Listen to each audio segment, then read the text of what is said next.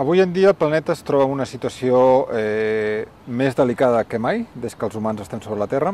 Un informe que es va presentar a finals del 2009, elaborat per 29 científics de tres continents, entre ells eh, diversos premis Nobel, establia set indicadors per avaluar la salut del planeta i d'aquests set indicadors eh, afirmava que en tres d'ells ja estem fora dels límits de seguretat del planeta. Eh, segons ells, si ultrapassem aquests límits, límits com el canvi climàtic, com la pèrdua de biodiversitat, etc. Si ultrapassem aquests límits, segons deien aquests científics, el planeta podria entrar en una fase de canvis abruptes i irreversibles que podrien eh, fer molt difícil la continuïtat de la vida humana tal com la coneixem. Segons aquest grup de 29 científics, tant a nivell de canvi climàtic com de desaparició d'espècies i també amb el cicle del nitrogen, estem ja fora d'aquests límits de seguretat. Per exemple, avui en dia s'extingeixen més eh, espècies a un ritme mil vegades més gran que abans de la revolució industrial. I això eh, crea una gran pèrdua de biodiversitat i quan menys diversitat hi ha en un ecosistema, menys capacitat d'adaptar-se als canvis sobtats o menys resiliència. Si tenim un ecosistema que té 100 espècies i ve un patogen, un virus, ve un canvi climàtic sobtat, pot ser que desapareguin algunes d'aquestes espècies i altres no. Si només tenim dos o tres espècies, tot aquell ecosistema es podria col·lapsar. Per tant, canvi climàtic, desaparició d'espècies, etc., són indicadors que ja mostren que el planeta està fora dels seus, del seu equilibri. Hem arribat a, aquesta situació a través d'una mentalitat que ens va fer creure que el camí cap endavant era el progrés material exclusivament, el progrés industrial, que, que en, els, en les darreres dècades s'ha vist seduïda per la idea que el camí cap a la felicitat personal és consumir més i més, tenir més i més, i que quan ja tinguis un nivell de possessions materials encara necessites més i més i més, i en realitat sabem avui en dia tant per estudis de eh, psicòlegs, sociòlegs, etc, que a l'acumular més i més no, no ens fa més feliços i de fet a vegades ens pot fer més estressats. Tenim dades, per exemple, que ciutadans dels Estats Units se sentien més feliços a mitjans dels anys 70 que fa un, que el 2005, abans del començament de la crisi. No? O sigui que ara tenen cotxes més grans, cases més grans, piscines més grans, però també tenen més estrès, més litigis, etc. Aleshores, vam creure que a nivell personal la clau de la, del progrés era el consumir, el materialisme, i vam creure que com a cultura, com a societat, el que s'havia de fer era que creixi el producte interior brut i que segueixi creixent pels segles dels segles. I si bé eh, necessitem un mínim de condicions materials per poder menjar, per tenir un sostre, per tenir un mínim de relacions socials, seguretat, etc., el continuar apostant per aquí no ens porta enlloc. I és com si les societats eh, occidentals, i a la llarga tot el planeta, s'han vist seduïts per aquesta idea de que progrés volia dir tenir més, i aquesta persecució del, del, del materialisme, de la riquesa, etc., ha portat a ignorar que som part del planeta, ha portat a ignorar que l'economia és part de la biosfera, i ha portat a aquesta situació que avui en dia eh, fa que coincideixi una crisi ecològica que posa en crisi tots els ecosistemes del planeta, cosa que no havia corregut mai, i que posa en crisi totes les societats del planeta, d'una manera molt més global que el 1929, quan el món no estava tan globalitzat i per tant va haver societats que a l'època de la Gran Depressió es van veure afectades, però altres que no. Avui tenim totes les societats i tots els ecosistemes en crisi.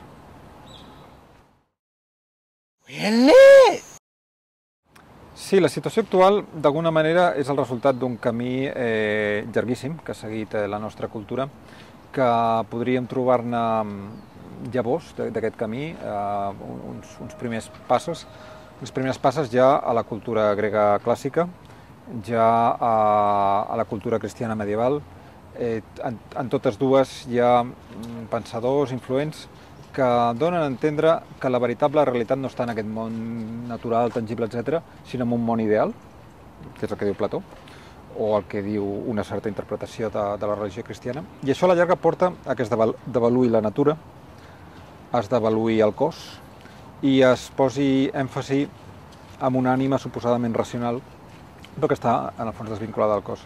I aleshores, així com a l'edat mitjana tenim un menyspreu del cos en general, en relació al diàleg de l'ànima en Déu, etc., també tenim un menyspreu de, de la natura viva i tangible en favor d'una humanitat que vol, sembla voler allunyar-se de la natura i sembla creure que anirà més endavant quan més s'hagi allunyat de la natura. I aquest procés de progressiu allunyament de la natura, que ens ha fet oblidar fins ara fa molt poc, que formem part d'una xarxa immensa de cicles naturals. Aquest procés d'allunyament de la natura és gairebé eh, idèntic al procés de, històric que ha seguit la, la cultura occidental i la majoria de les cultures humanes. Tenim pobles indígenes que han seguit vivint eh, integrats dintre del seu ecosistema, de vegades durant desenes de milers d'anys, per exemple els aborígens australians, d'una manera prou sostenible. Uh, de fet, hi ha evidència que hi ha pobles indígenes que han extingit moltes espècies animals, però això sempre és quan aquests pobles arriben a un nou ecosistema. Per exemple, quan els aborígens arriben a Austràlia o quan els indígenes nord-americans arriben a Nord-amèrica. Es troben en un ecosistema nou, no coneixen les seves dinàmiques i extingeixen una sèrie de, de, de mamífers, per exemple. Però un cop s'han integrat en aquell ecosistema, són capaços de continuar vivint en allà durant milers i milers d'anys. I això és el que ha passat a Nord-Amèrica, el que ha passat a Austràlia, el que ha passat a Àfrica, etc etc. I d'alguna manera troben maneres culturals d'integrar-se dintre d'aquell paisatge i de viure en harmonia amb aquell, amb aquell entorn. Uh, potser una de les diferències és que en aquestes cultures no hi ha aquesta necessitat de progrés, de tenir més i més i més. És a dir, societats tradicionals caçadores-recol·lectores, una vegada tenen aliments caçats o recollits per tres setmanes, posem per cas, deixen de caçar i de recollir i es dediquen a celebrar aquella abundància, a anar a veure els seus parents, a fer festes, a explicar mites i contes, a fer danses, etc etc. en comptes del que faríem nosaltres, que si hem acumulat, ho vendríem per aleshores tenir mitjans més potents, per aleshores tenir més i més i més i més. És curiós com eh, dos antropòlegs nord-americans, fa un temps ja, van estar al nord d'Austràlia, a la terra d'Arnhem, eh, mesurant el temps que les comunitats indígenes d'allà, aborígens, treballaven al dia. I el resultat va ser que els homes treballaven una mitjana de 3 hores i 44 minuts al dia i les dones una mitjana de 3 hores i 50 minuts al dia.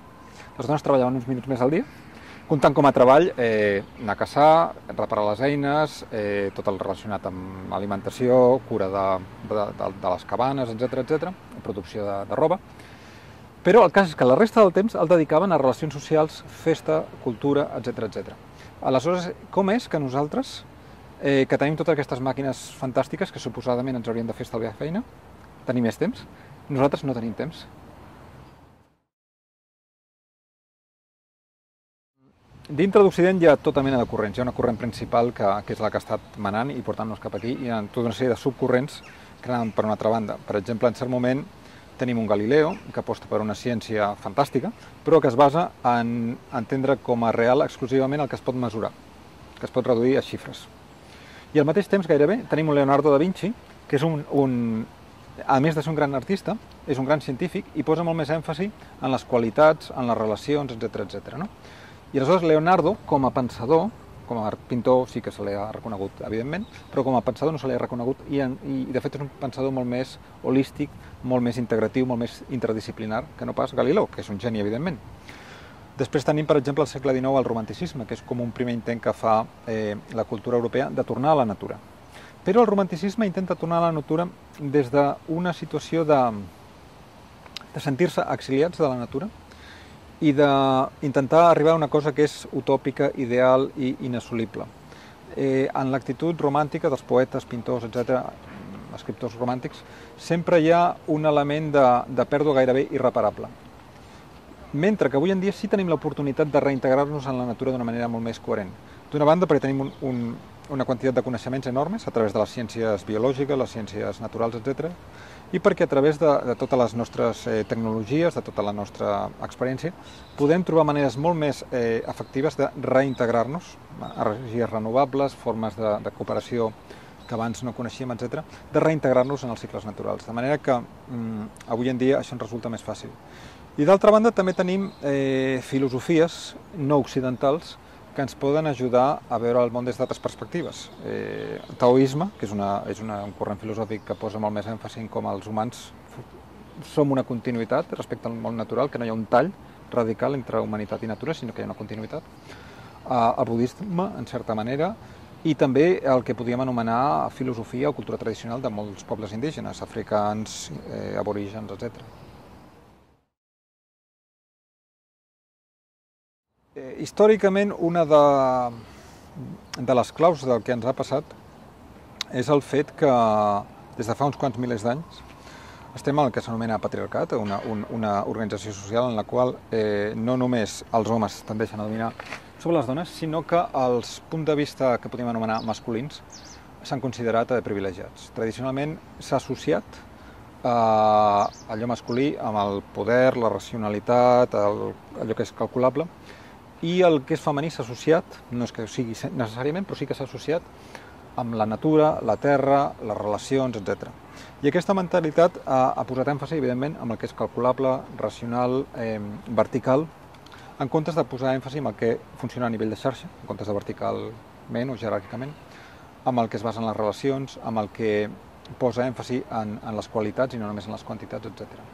De manera que per molt que eh, en diferents nivells podem constatar un cert progrés, eh, qüestionable però un cert progrés, si més no, a nivell d'igualtat de, de drets entre, entre homes i dones, sí que la mentalitat de fons segueix eh, impregnada d'una cultura patriarcal, d'una cultura que es considera desconnectada de la natura, considera que, que la clau de la intel·ligència és la racionalitat calculadora.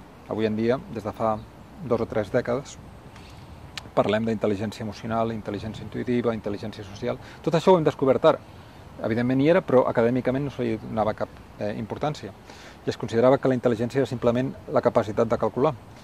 Però hi ha altres tipus d'intel·ligència menys eh, patriarcals, per dir-ho així, que en el fons són molt més eh, importants i molt més efectius. I és part del que avui en dia estem aprenent i hem d'aprendre d'una manera molt accelerada si volem posar-nos al dia davant dels reptes que tenim.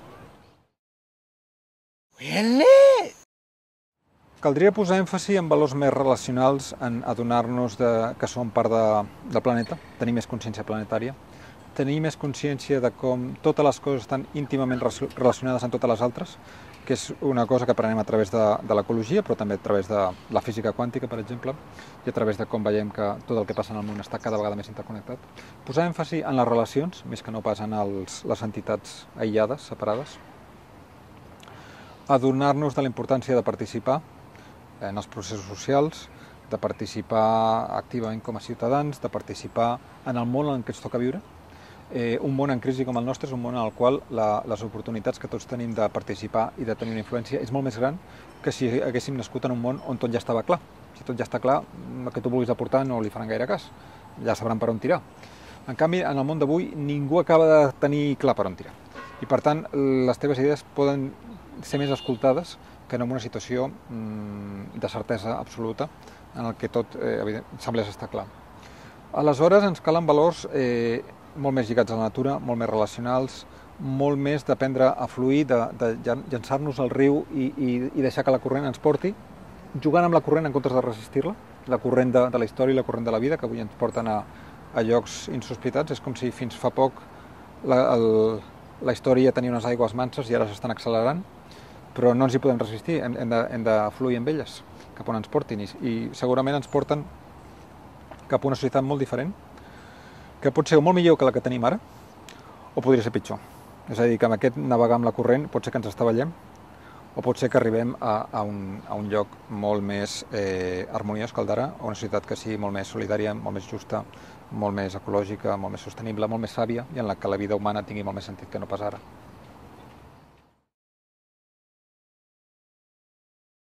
Quan oficialment es va declarar la crisi el, el, el 2008, eh, va ser perquè van entrar en crisi tota una sèrie d'institucions financeres, però eh, el món ja estava en crisi d'abans. Hi havia una crisi ecològica, hi havia un increment creixent de les desigualtats, tant dintre de molts països com a nivell global, i no es parlava de crisi simplement perquè no es facturava l'impacte social i ecològic del sistema eh, econòmic que tenim, de l'economia neoliberal que s'havia eh, posat en marxa en tot el món. Però el món, si mirem la, les dades, ja, ja estava en crisi, ja estava patint de moltes maneres. Aleshores, el que ara trobem és una situació en la qual coincideix una crisi econòmica, una crisi ecològica, una crisi cultural, una crisi de valors, una crisi moral, una crisi de civilització, que ja estava en marxa. I d'alguna manera, si no fos per aquesta crisi, perquè el, pel fet que la paraula crisi apareix als mitjans de comunicació i ens adonem que això no funciona, de fet, anàvem directament cap a un abisme. O sigui, a nivell ecològic, la manera com s'estava deteriorant la integritat dels sistemes biofísics del planeta dels quals depèn l'economia i la societat i la vida humana, s'estaven desintegrant molt ràpidament. Aleshores, al moment que arriba la crisi, simplement pel fet que s'atura una mica la maquinària industrial, alguns d'aquests indicadors milloren una mica. Mm?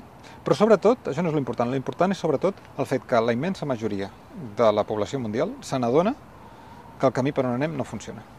En aquest sentit, la crisi és un despertador. Aleshores, crisi, eh, tot al llarg de la mitjana, en llatí, era exclusivament un terme mèdic que indicava el moment en el qual una malaltia feia un canvi sobtat. I s'anomenava bona crisi quan el malalt, a través d'aquest canvi sobtat, es guaria, i mala crisi quan el malalt eh, anava pitjor i potser es moria. Aleshores, eh, crec que és important rescatar aquest eh, sentit originari de crisi com a terme mèdic que significa canvi, que pot ser cap a bé o cap a mal. Només al segle XVIII aquesta idea de crisi relacionada amb el cos humà es passa metafòricament al cos social i és quan es comença a parlar de crisi ministerial, crisi de govern, crisi política, etc etc. Però originàriament estava relacionada amb el, amb el cos humà. I eh, en aquest sentit crec que és útil eh, adonar-nos que una crisi pot ser un moment de canvi, és un moment de molta més incertesa i aquesta incertesa pot fer que eh, avancem cap a una societat millor. Really? Des que va començar la crisi, bàsicament hem anat a pitjor i, i la immensa majoria de governs del món han anat imposant una sèrie de retallades, una sèrie d'ajustos que eh, intenten que avancem a través de les teories amb les quals eh, entenim l'economia fins fa poc. Però aquestes teories ja no funcionen. Simplement estem aplicant un model que no funciona a una situació que és completament nova. Això d'alguna manera recorda una paràbola eh, oriental que parla d'una persona que està sota un fanal uh, buscant i se li acosta un amic i diu, què busques? I, i diu, és que he perdut la clau. I l'amic es posa a buscar la clau amb ell i a cap d'una estona li pregunta, però estàs segur que la clau l'has perdut aquí? Diu, no, no, aquí no l'he perdu no perduda, però és que aquí és on hi ha llum. Aleshores, eh, estem aplicant mesures que no es corresponen amb la realitat que tenim avui en dia, però són les mesures que se suposava que funcionaven en un altre moment. I aleshores, eh, bé, una crisi pot ser una oportunitat de transformació. Si no fos per aquesta crisi, anàvem cap a un món amb cada vegada més desequilibris ecològics i socials, un món cada vegada més buit de sentit, per molt que tot la, el consumisme i tota la lluentor de les coses que ens envolten brillava molt, però en el fons hi havia una gran eh, crisi al de sota, i també vaig fer servir el terme de bona crisi perquè en el primer, els primers mesos de la crisi se'ns deia repetidament que, bé, que remuntaríem, sortiríem de la recessió en tres mesos, en sis mesos, etc etc. Però hi ha també l'expressió bona de, de l'hem feta bona, de que és una bona crisi com algú que s'ha fotut una bona, una bona hòstia, no? O sigui, és una crisi bona en el sentit de magnitud també un dels termes amb els quals eh, el diccionari defineix bona, també és, també és bona en aquest sentit. I també, eh, en tercer lloc, vaig voler utilitzar bona crisi com a eh, salutació. La persona que s'ha de fer un viatge a un país en guerra, posem per cas, li pots dir bon viatge, li pots dir bona navegació a una persona que se'n va navegar amb aigües turbulentes. Doncs bona crisi vol dir bé, a través d'aquest món d'incertesa que tenim al davant, que et vagi bé.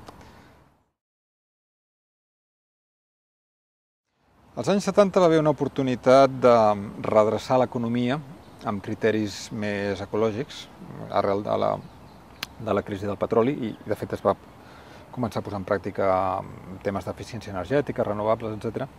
I el que va passar al cap de poc va ser que va arribar l'onada de neoliberalisme, Ronald Reagan, Margaret Thatcher, etc etc i es va imposar eh, un sistema en el qual eh, els diners claríssimament estan per davant de les persones i aquí hem arribat fins que ara molta gent se n'adona que, que això no funciona, que cal posar les persones al centre de l'economia, que necessitem una economia molt més humanista, i fins i tot, com diuen alguns economistes, eh, que el propòsit de l'economia no ha de ser mesurar el moviment de diners, sinó mesurar com podem fer que els ciutadans siguin més feliços, se sentin millor, estiguin més realitzats. Really? Una cosa que, que tenim avui en dia és que tenim eh, reptes més grans que mai, ho deia abans, eh, tots els ecosistemes en crisi, totes les societats en crisi, totes les disciplines humanes, d'alguna manera, necessitades d'una transformació, d'una posada al dia, però també tenim oportunitats que no havíem tingut mai. Tot el que aprenem a través de la ciència, tot el que sabem a través de la nostra experiència històrica, tot el que ens podem comunicar, evidentment, a través d'internet, que canvia radicalment tot. Tot el que aprenem a través del contacte amb altres cultures, que, que ens mostren com coses que pensaven que només podien fer d'una sola manera, es poden fer de moltes maneres diferents. Aleshores ens cal adonar-nos que estem en una situació completament nova, radicalment nova, eh, i que per tant no podem aplicar la manera d'entendre el món que hem tingut en el passat. Que les persones que avui tenen posicions de poder no poden aplicar allò que van aprendre a la universitat fa 20 anys, perquè allò ja no funciona. Aquells mapes ja no es corresponen a la realitat que tenim avui en dia. I per tant ens toca fer un exercici d'aprenentatge continu, de posar-nos al dia i també d'alguna manera de seguir les nostres intuïcions més profundes perquè les teories antigues en aquest món nou ja no funcionen.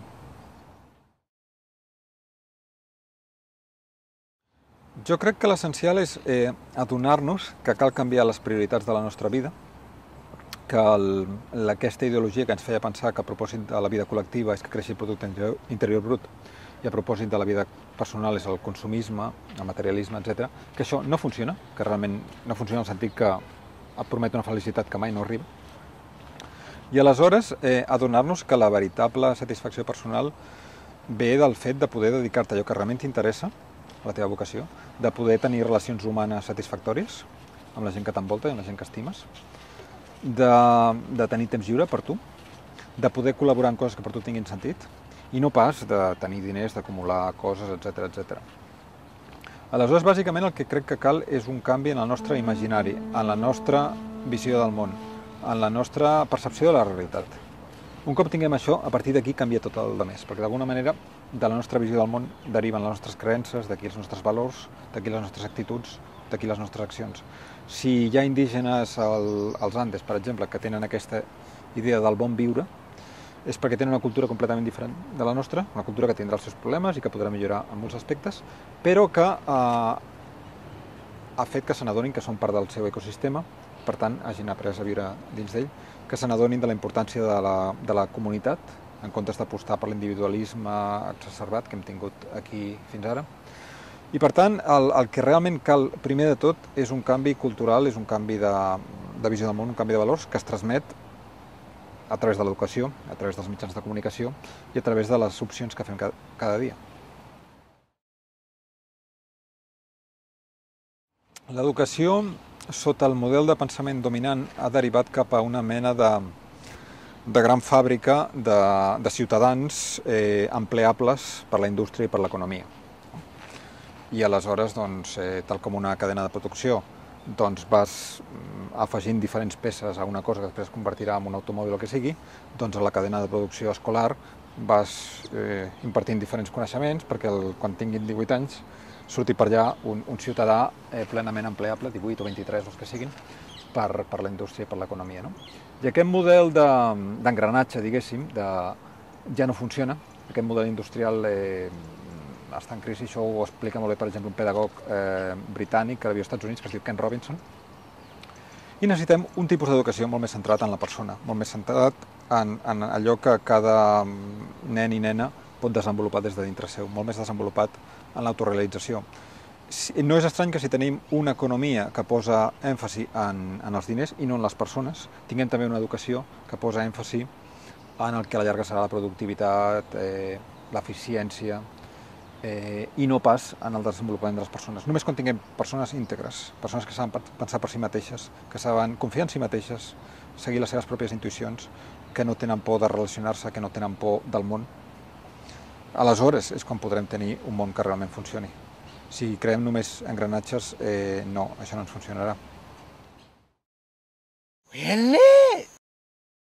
Sí, hi ha, hi ha un hedonisme en, a, a les cultures riques del planeta um, que en el fons um, parteix d'una manca de consciència de que som part d'un planeta i que per tant eh, només podem gaudir de certes coses en els països rics i privilegiats a canvi que tota una sèrie de, de països tinguin unes condicions eh, molt dures i a canvi del fet que la natura mm, tingui cada vegada desequilibris més grans, és a dir, a canvi d'una factura que pagaran en el futur tant el planeta com els nostres descendents, els nostres nets.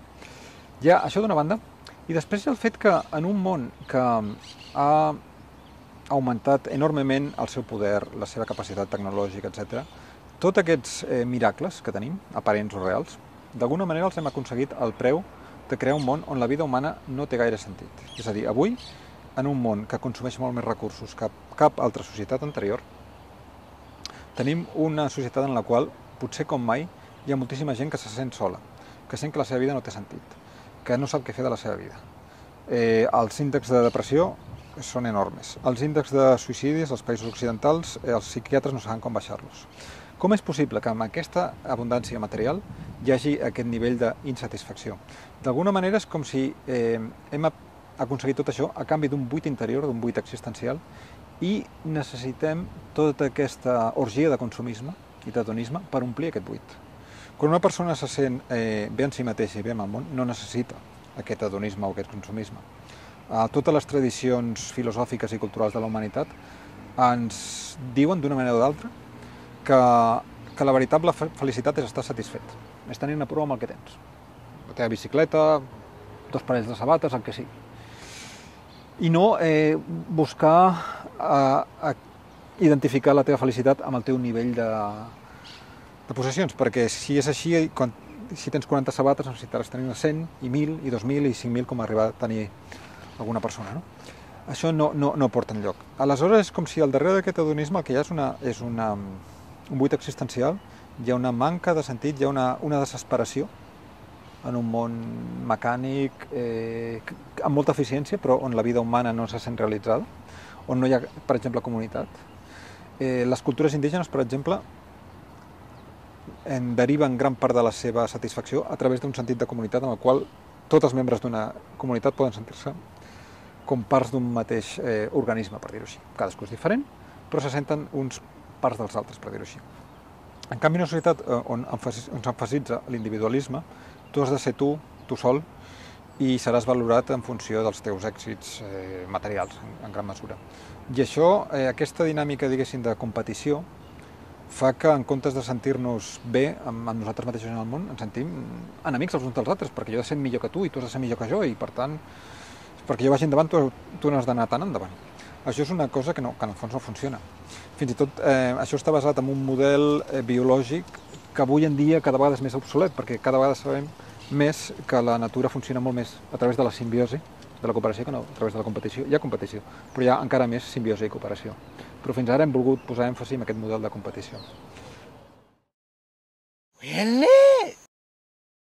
Diuen que una vegada a Einstein li van preguntar quina era la, la, la qüestió més important per a la humanitat d'avui en dia, un periodista. I que Einstein s'ho va pensar una estona i que en comptes de treure un problema complicat de la física contemporània, va dir que la qüestió més important era saber si l'univers és un lloc acollidor o no perquè va dir, i això no s'explica, no, no he pogut trobar la font, segons Einstein, eh, si l'univers és un lloc acollidor, doncs ens sentirem a gust amb aquest món, amb nosaltres, ens relaxarem, gaudirem de la vida, etc. Si considerem, en canvi, que l'univers és un lloc hostil, com sembla ser que la nostra ciència en el fons revela, ara mateix, o si més no el, el vell paradigma científic, doncs aleshores, si l'univers és un lloc hostil, necessitarem eh, defensar-nos, controlar, eh, crear barreres, seguretat, etc. Ens considerarem rivals els uns dels altres i estarem en un món on eh, desconfiarem, un món on no podrem ser nosaltres mateixos perquè hem d'estar sempre lluitant per ser més que els altres, etc. I un món on no, no podrem ser feliços. Eh, la clau de la, de la felicitat la clau de la felicitat d'alguna manera és, ser tu mateix en un context eh, harmoniós, social, natural, etc.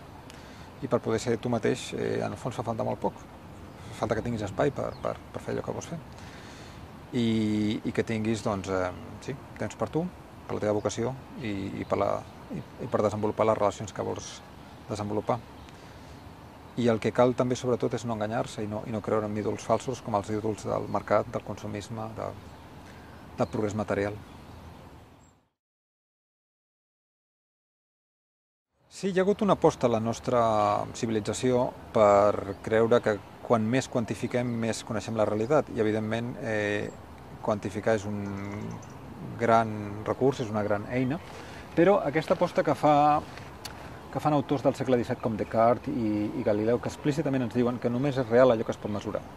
Els pes, alçada, velocitat, acceleració, això per ells és real. En canvi, olors, sabors, colors, etc., segons ell, són experiències subjectives, irreals, il·lusòries. Això és curiós perquè, eh, segons aquesta manera de veure el món, que en el fons eh, encara rau al de sota de la nostra cultura, el color verd que jo ara estic veient no és real, sinó que el que és real és una longitud d'ona d'un determinat nombre de nanòmetres, mentre que l'experiència del verd seria una cosa il·lusòria. I és curiós perquè aquest verd eh, no, no hi ha fotons que siguin de color verd, no hi ha neurones que siguin verdes, sinó que l'experiència del verd és absolutament real, tant per tu com per mi, com per tothom que estigui veient eh, un bosc.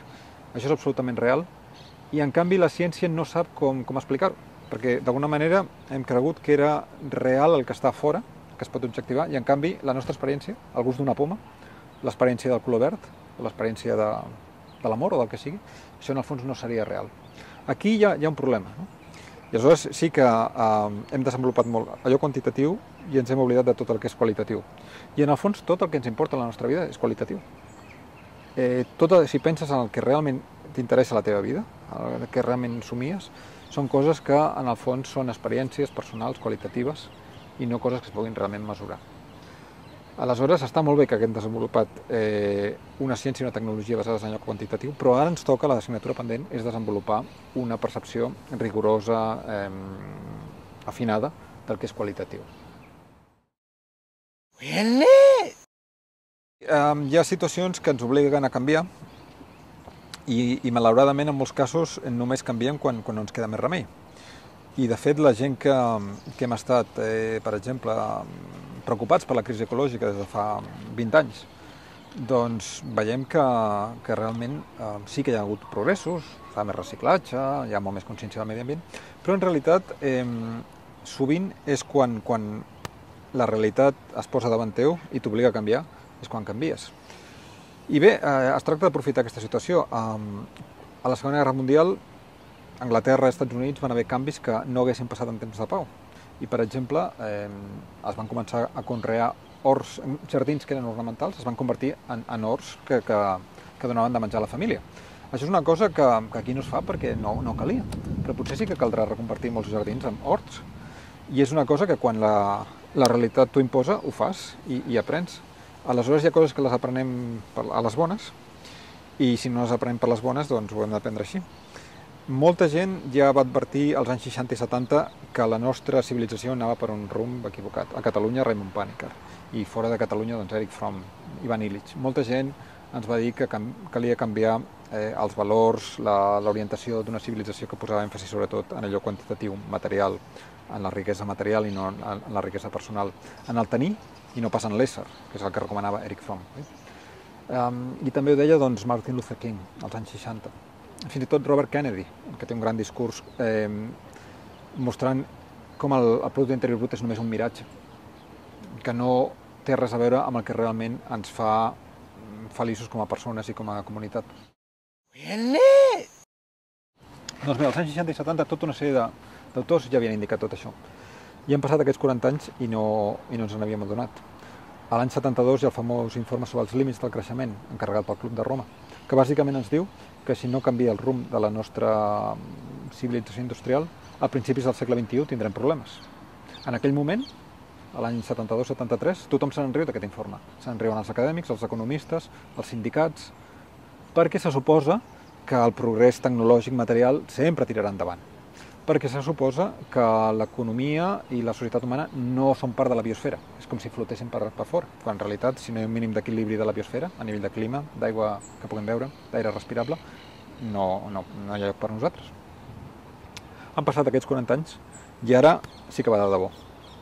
Perquè ara sí que estem topant contra els límits del planeta, aquests límits que advertia aquest informe fa més de 40 anys, o fa 40 anys, ara aquests límits ja no són una cosa futura, sinó que són una cosa present, a tot allò que molts pensadors, humanistes, etc., havien advertit dècades enrere, ja és prou evident per tothom. Molta gent es desperta d'aquest miratge en el qual estàvem, molta gent se n'adona que els bancs, per exemple, no són institucions benèfiques que t'ajuden a comprar un cotxe, sinó que eh, estan dominades per una dinàmica de cobdícia universal que s'ha apropiat de, de l'economia de les finances. Molta gent té una consciència molt més gran del que passa en el nostre món que no pas fa 4 o 5 anys, i això en part és degut a la crisi que ha posat en qüestió molt dels miratges que hi havia en el nostre sistema. Per tant, evidentment hauria estat millor que haguéssim après per les bones i que fa molts anys doncs, haguéssim canviat l'educació, la cultura, els valors i que haguéssim orientat eh, totes les nostres prioritats per una altra banda. No ho vam fer i ara ens toca fer-ho d'una manera, diguéssim, més accelerada, més intensa, I això fa, si més no, que la nostra vida en aquesta generació, en aquest moment, sigui més interessant que el que seria en un moment d'estabilitat, de, perquè a la nostra generació, sobretot en aquesta dècada, ens toca eh, ni més ni menys que reinventar gairebé tot el que som i el que fem per posar-nos al dia i adaptar-nos als reptes que tenim per crear una societat que sigui eh, ecològica, solidària, eh, molt més sàvia que la nostra, on la vida humana tingui més sentit. I tot això ho hem de fer en un espai de temps molt breu. Hi ha hagut grans transformacions a la humanitat abans, la revolució agrícola, la revolució francesa, però aquestes transformacions van desenvolupar-se al llarg de, de, deca, de, de segles, en el fons, tot, tot el que elles implicaven. Mentre que ara ens toca fer, eh, ens toca fer-ho en molt pocs anys, eh, bàsicament en l'espai de la nostra generació. I en aquest sentit és com si ens ho juguem tot a una carta. I no només això, sinó que tots aquests eh, esforços que els nostres avantpassats van fer per aconseguir un món millor, una societat més justa, un món on la gent pogués viure millor, d'alguna manera el resultat de tots aquests esforços de totes les generacions anteriors es decideix ara. Perquè si, aconsegueix, si aconseguim realment crear un món millor, tot el que van fer els Martin Luther King i el Lluís Companys i totes les persones que van lluitar per, per causes justes del passat, tot això haurà tingut el seu sentit. Si no ho aconseguim, tota aquest, aquesta suma d'esforços tampoc haurà donat fruit. De manera que és com si ens han passat el, el testimoni amb una carrera de relleus i depèn de nosaltres si arribem a la, al final de la cursa a temps o no.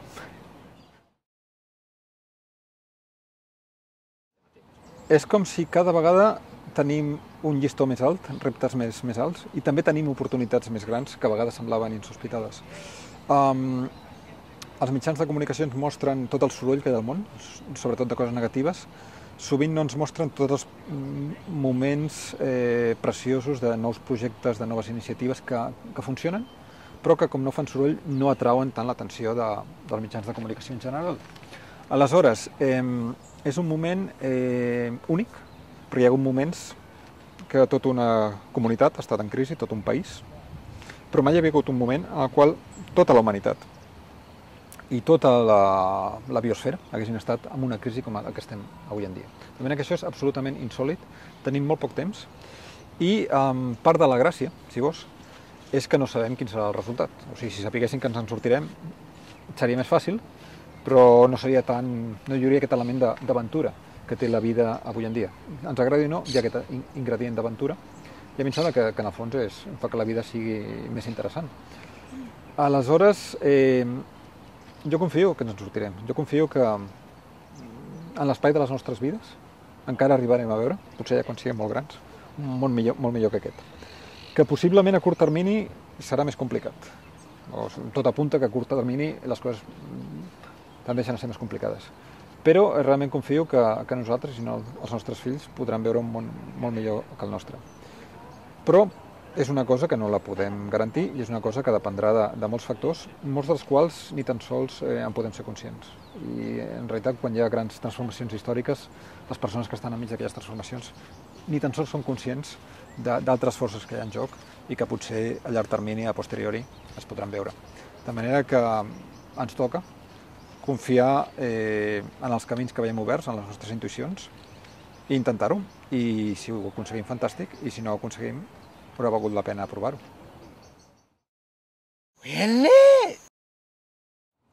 Jo crec que, que el canvi que, que el món ens demana ara vindrà en el fons de, de tota mena de nivells, de, de, de grups de ciutadans que s'organitzen, de persones que segueixen la seva intuïció, de, de grups locals, de grups nacionals, de grups internacionals, de, de gent que treballa a l'educació, de gent que treballa a la ciència, de gent que treballa als mitjans de comunicació, a la cultura, etc.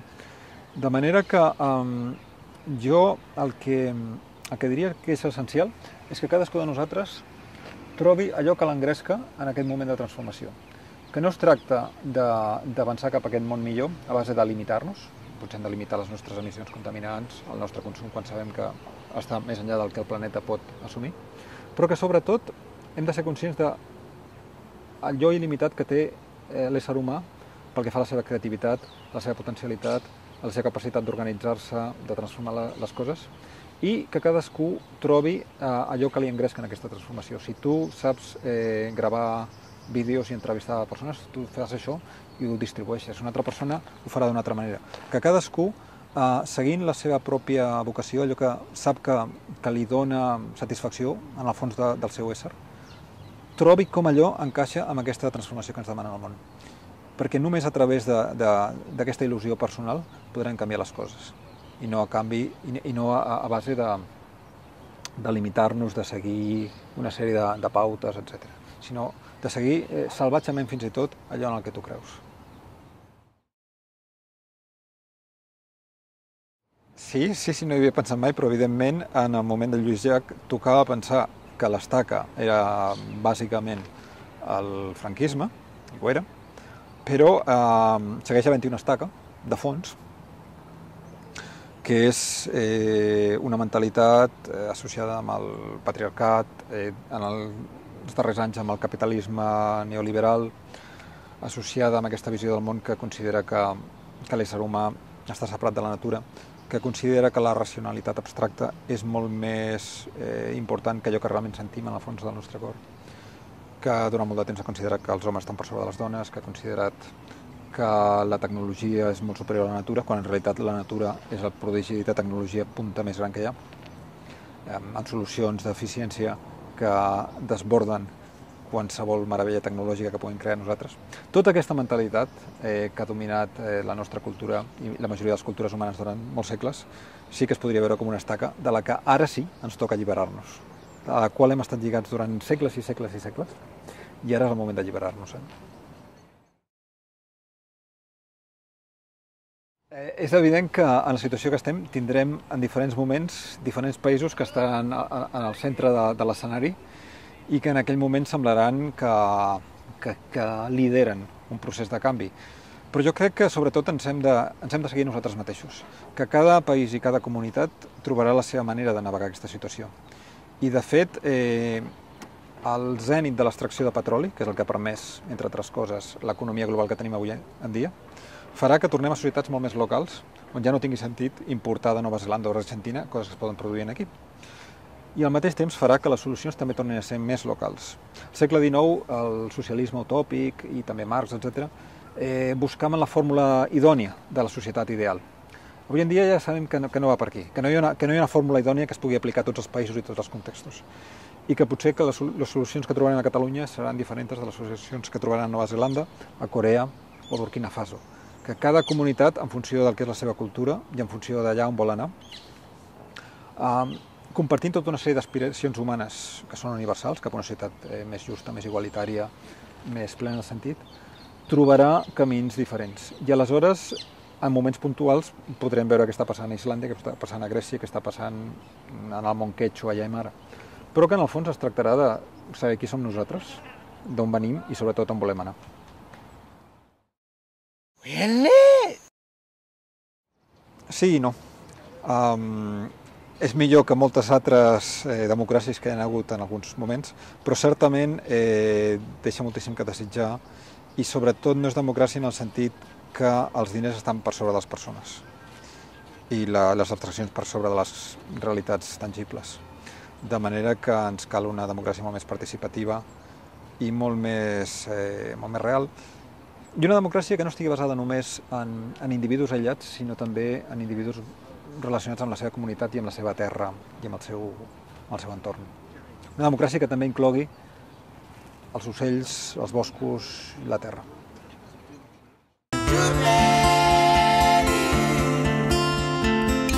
Goodbye.